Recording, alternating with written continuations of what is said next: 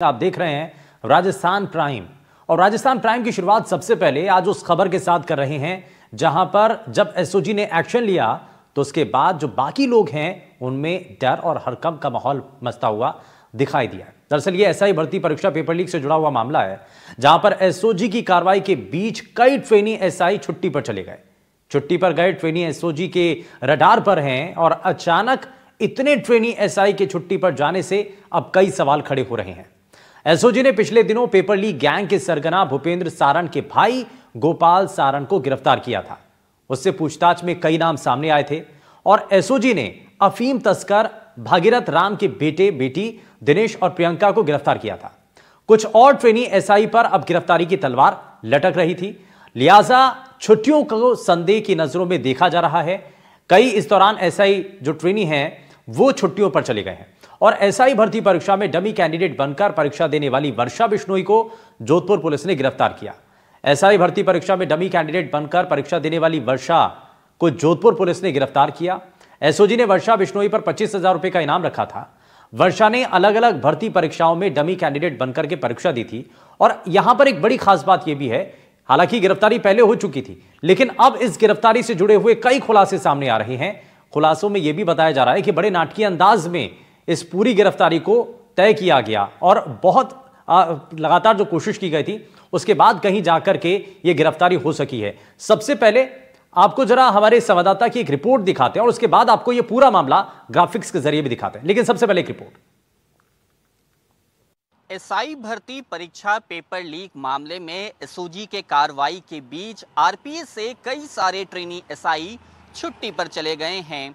रविवार के बाद से अब तक 35 ट्रेनी एसआई छुट्टी पर गए हैं। 60 से अधिक ट्रेनी एसआई अभी तक अलग अलग कारणों से छुट्टी पर हैं। छुट्टी की टाइमिंग ऐसी है जिसको लेकर कई सारे सवाल उठ रहे हैं, क्योंकि गोपाल सारण की गिरफ्तारी के बाद उसने कई सारे नाम बताए थे। पिछले दिनों एसओजी ने भागीरथ राम, जो कि अफीम तस्कर है, उसके बेटे बेटी को गिरफ़्तार किया था। दिनेश और प्रियंका की गिरफ्तारी के बाद इस बात के कयास लगाए जा रहे थे कि कई सारे और ट्रेनी एसआई की गिरफ्तारी हो सकती है। इसी बीच में सिर्फ़ तीन दिनों में 35 ट्रेनी एसआई का अचानक छुट्टी पर जाना कई सारे सवाल खड़े करता है। हालाँकि ये सभी लोग जो छुट्टी पर गए हैं, इनकी क्या सीधे तौर पर कोई भूमिका है या नहीं है, ये तो जाँच के बाद ही साफ़ हो पाएगा, लेकिन टाइमिंग कई सारे सवाल खड़े करती है। दरअसल पिछले दिनों एसओजी ने भूपेंद्र सारन, जो कि पेपर लीक माफियाओं का सरगना है, उसके भाई गोपाल सारण को गिरफ़्तार किया था।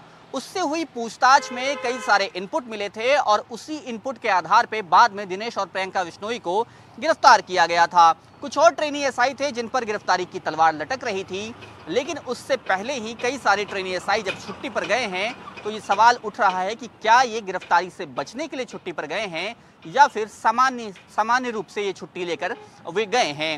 हालाँकि ये जाँच में साफ़ हो पाएगा, लेकिन इतना ज़रूर है कि इन छुट्टियों की टाइमिंग पर सवाल उठ रहे हैं।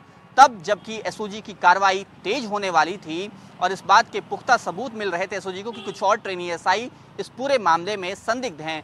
हालाँकि संदिग्धों की सूची 300 के आसपास बताई जा रही है, लेकिन अभी तक 40 से अधिक ट्रेनी एसआई ही इस पूरे मामले में गिरफ़्तार हुए हैं, क्योंकि एसओजी लगातार जाँच करने के बाद, पुष्टि करने के बाद ही किसी को गिरफ़्तार कर रही है। साथ ही साथ पिछले दिनों कमेटी की बैठक भी हुई थी, जिसको ये फैसला लेना था कि क्या ये भर्ती जो प्रक्रिया है, पूरी तरह से भर्ती है, वह रद्द होगी या नहीं होगी, क्योंकि सरकार पर युवाओं का बहुत ज़्यादा दबाव है। उसका भी कुछ फैसला आना है, जैसा कि जोगाराम पटेल मंत्री ने बताया था कि अगले सप्ताह तक तो कोई गुड न्यूज़ मिल सकती है। इन सब के बीच ये सभी छुट्टियाँ जो कोई साठ से अधिक ट्रेनी एसआई छुट्टी पर हैं। पैंतीस ट्रेनी एसआई ने सिर्फ़ तीन दिनों में छुट्टी ली है। कई सारे सवाल जो है इससे खड़े हो रहे हैं। अब एसओजी की जाँच के बाद ही ये साफ़ हो पाएगा कि छुट्टियाँ सामान्य है या फिर गिरफ्तारी के डर से ये छुट्टियाँ ली गई हैं। जयपुर से कैमरा सहयोगी पुष्पेंद्र के साथ सोमू आनंद, एनडीटीवी। तो अब इस पूरे मामले को लेकर के ये, जैसा कि मैं आपको पहले भी बता रहा था कि बड़े नाटकीय अंदाज में ये गिरफ्तारी होती है। अब सर, आपको ये पूरा मामला बताते हैं और जब इसमें वर्षा की गिरफ्तारी होती है तो कैसे सब कुछ होता है? जरा ग्राफिक्स के ज़रिए आपको दिखाते हैं। अब ये देखिए ऑपरेशन फिक्सिट इसके पीछे चलाने का एक मकसद है और इसका नाम ऑपरेशन फिक्सिट ही क्यों रखा है, ये भी आप समझिए। दरअसल, जो आरोपी है, वर्षा, और आप जानते ही हैं फिक्सिट मतलब किसी भी चीज़ को फिक्स करना, पानी अगर गिर रहा है तो उसको रोकना तो वर्षा नाम था तो इसीलिए उसको पकड़ने के लिए इस ऑपरेशन का नाम फिक्सिट रखा गया था। तो इसलिए इस ऑपरेशन के अंदर कई तरीके के, क्योंकि आरोप लगे थे वर्षा के ऊपर, पीजी में नाम बदल करके वो रह रही थी। उसका कोई सुराग नहीं मिल रहा था। पीजी पर पुलिस की कई दिनों से नज़रें थी और पुलिस जो है लगातार कोशिश कर रही थी। जोधपुर कॉलेज में लेक्चरार थी वर्षा और वर्षा पर पच्चीस हज़ार रुपए का इनाम भी था। अब साथ ही साथ कई और जानकारी भी मिल रही थी। तीस लाख रुपए लेकर के वो डमी कैंडिडेट बनी थी, ये इस बीच जानकारी मिली। अब एक्शन के डर से, क्योंकि ये बताया गया कि जब वर्षा की गिरफ्तारी होती है तो उसके बाद जो बाकी ट्रेनी एसआई हैं, उनके मन में एक डर बन जाता है कि कहीं ऐसा ना हो कि एसओजी की जो गिरफ्तारी की जो काम चल रहा है, वो कहीं उसकी आँच उन तक भी आ जाए। तो इसलिए अब आगे क्या हुआ? कई ट्रेनी एसआई जो है छुट्टी पर चले जाते हैं। गैंग का सरगना क्योंकि इसमें कई लोगों से अब तक पूछताछ की जा चुकी है, जिसमें कई लोगों के नाम भी सामने आए हैं।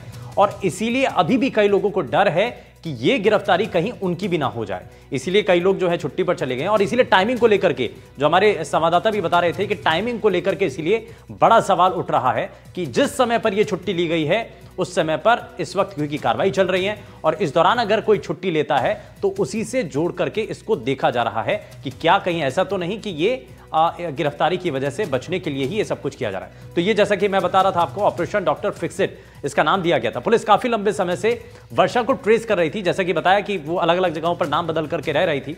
और पुलिस जो है काफ़ी लंबे समय से वर्षा को ट्रेस कर रही थी, लेकिन कोई जानकारी नहीं मिली। लेकिन उसके बाद जब पुलिस को कोई ठोस जानकारी मिलती है, पुख्ता जानकारी मिलती है तो उसके बाद कहीं है, और उसके बाद जो टीम है, इस ऑपरेशन को तय करती है। और इसका नाम जो है इसीलिए डॉक्टर फिक्सिट रखा गया। और जैसा कि बताया गया कि इसके नाम के पीछे के असलियत क्या है, क्योंकि वो काफ़ी नाटकीय अंदाज में इससे पहले तक कई जो है नाम बदल करके रह रही थी, उसके बारे में कोई जानकारी नहीं मिल रही थी, लेकिन जब ठोस जानकारी टीम को मिलती है तो उसके बाद इस मामले पर एक्शन लिया जाता है।